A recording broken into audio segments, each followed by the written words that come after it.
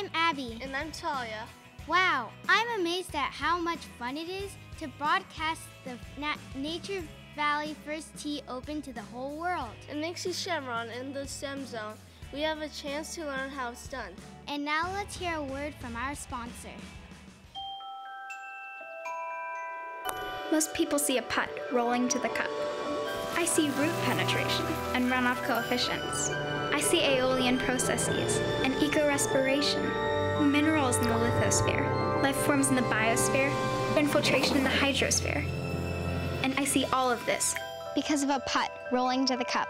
We partner with organizations to help educate kids in science, technology, engineering, and math.